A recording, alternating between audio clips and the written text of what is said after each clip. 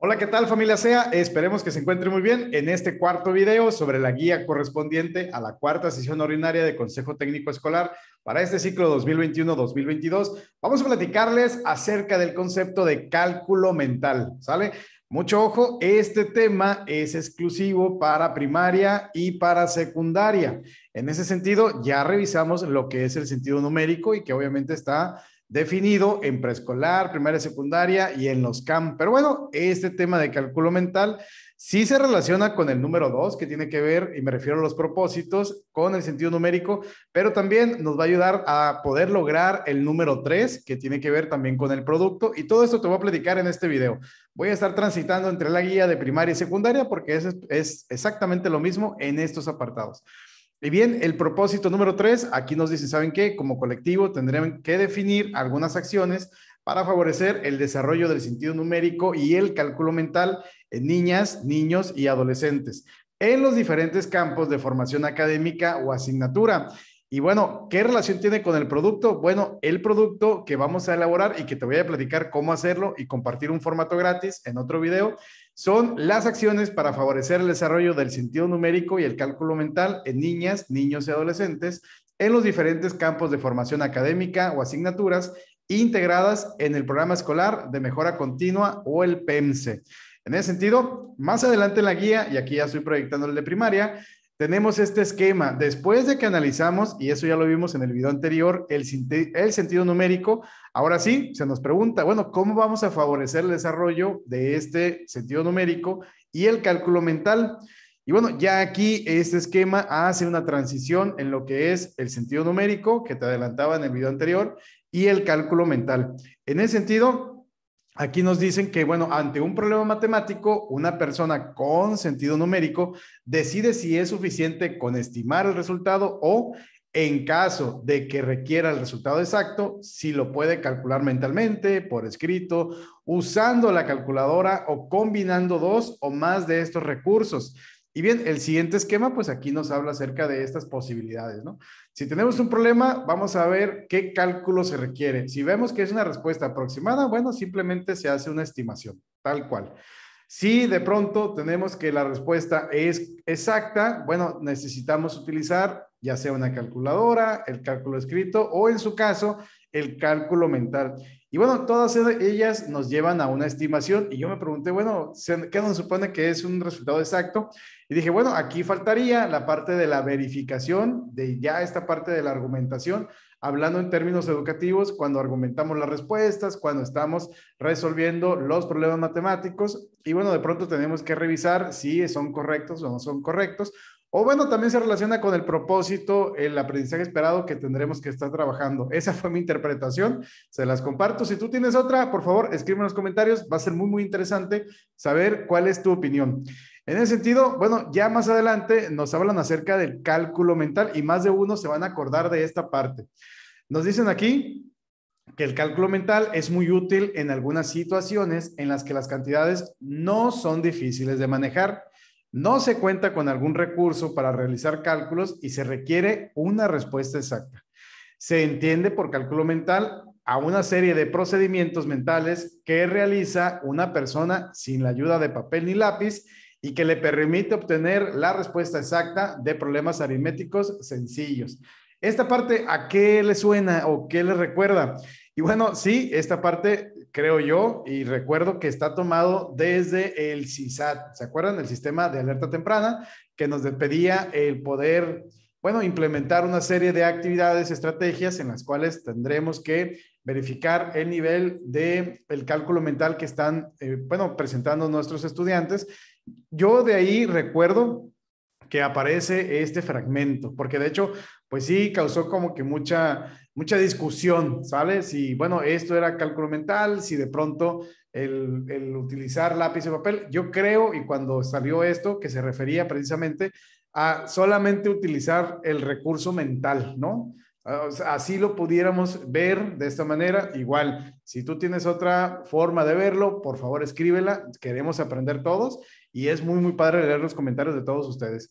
Pero bueno, aquí nos dicen algunas ventajas sobre este cálculo mental. El primero, bueno, que enriquece el conocimiento de los números, las relaciones entre ellos y sus operaciones.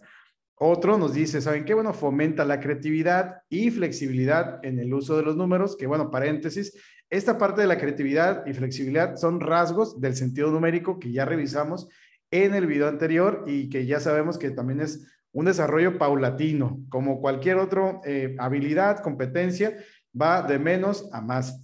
El otro eh, ventaja, la otra ventaja es desarrolla la atención, la concentración y la memoria. También tenemos que fomenta la habilidad de tomar decisiones sobre cómo proceder para llegar al resultado. Y esto, pues obviamente lo vamos a enlazar con el esquema que ya revisamos, ¿no? Se refiere a esta toma de decisiones en las cuales, bueno, voy a saber de qué manera voy a poder resolver esta problemática, qué recursos voy a utilizar. Y más adelante, un poquito más adelante, ya nos dan un ejemplo de esto, ¿sale? De la misma manera, desarrolla la autonomía, pues el alumno decide por sí mismo el método que empleará. Las estrategias de cálculo mental son personales y esto también se relaciona con el esquema que estuvimos revisando en el video anterior, en el cual nos decían que, bueno, el sentido numérico, y aquí lo dice, es personal. Cada individuo desarrolla su propia red conceptual formada a partir de la comprensión que tiene de los números. Entonces, vemos que sí hay una relación, vemos que sí hay una, bueno, relación entre los temas, entre los conceptos que está manejando la guía. De hecho, este tema de cálculo mental no termina aquí. Ahorita te voy a decir en dónde más va a continuar y que sería interesante analizarlo. Ustedes déjenme en los comentarios si les gustaría, porque se relaciona con el anexo número 2. Ahorita les platico. Pero bueno, aquí nos dice este apartado. Utilizar mentalmente un algoritmo convencional para calcular la diferencia entre 500 y 372 resulta difícil porque involucra dos transformaciones y el minuendo tiene dos ceros consecutivos. Los invitamos a que intente hacerlo para que tome conciencia de que el algoritmo convencional no siempre es la mejor manera de resolver mentalmente una operación. Depende mucho de los números involucrados. Bien, con base en este ejemplo, que seguramente aquí lo van a resolver en Consejo Técnico Escolar, vamos a ver, bueno, a 500 le restamos 372 y bueno, aquí podemos emplear nuestro esquema que está apareciendo. Bueno, si se requiere una eh, respuesta aproximada o una exacta, ¿qué vamos a utilizar? ¿Una calculadora? ¿Vamos a escribir? ¿O el cálculo mental? Cada quien, obviamente, ya tendremos que ir definiendo qué, eh, pues, estrategia vamos a emplear y bueno, si queremos que eh, se estimule el cálculo mental, pues tendríamos que definirlo previamente, ¿no? ¿Qué es lo importante? Y finalmente, ese texto es con fines de la reflexión. Bueno, para ver cómo se sienten los, nuestros alumnos y bueno, de qué manera podrán ellos resolver esas actividades. Bien, de manera complementaria, en el anexo 2 nos hablan acerca de recomendaciones para favorecer el desarrollo del sentido numérico y el cálculo mental. Aquí nos hablan acerca de algunos problemas matemáticos, su reflexión y de cómo podremos enfrentarlos eh, y resolverlos con nuestros estudiantes. Esto pues ya sería materia para el análisis de otro video, porque si no, ya ven que el anexo sí está bastante extenso. Yo creo que sí, aquí nos vamos a pues a invertir un poquito más de tiempo porque sí está muy interesante. Y bueno, aquí yo voy a pedirle a Adri, cuando ya estemos por allá, en La Paz, Baja California Sur, que nos ayude a, pues, a resolver esta parte, porque pues ella eh, se especializa en esta parte de matemáticas y bueno, ella capacita a maestros de toda la República Mexicana en términos de matemáticas, estrategias, materiales y muchas, muchas cosas. Pero bueno, también tenemos una próxima cita con ustedes. Recuerden que estamos estudiando totalmente gratis en el canal de YouTube, aquí en el Centro de Aprendizaje Activo, para los exámenes de admisión docente, promoción vertical, horas adicionales y ya cuando llegue la horizontal. La próxima cita es el martes 22 de febrero a las 6 de la tarde, hora de la Ciudad de México, y estaremos revisando el documento de estrategia de equidad e inclusión. Obviamente, este documento es un anexo de aprendizajes clave, no está dentro del documento así extenso de casi 700 páginas, es un documento anexo y esto lo comento porque, bueno, nos hicieron la pregunta en, el video anterior. Y bueno, ya lo saben, vamos a estar aquí con ustedes resolviendo sus dudas, comentarios. Por eso siempre es bueno que te suscribas, que dejes un me gusta y que compartas el contenido con todos tus compañeros. Familia SEA, agradecerles a todos los miembros del canal, porque los miembros del canal hacen que nosotros podamos seguir haciendo videos y que sean de calidad. Yo me despido, nos vemos Hasta la próxima. Muchísimas gracias. Saludos.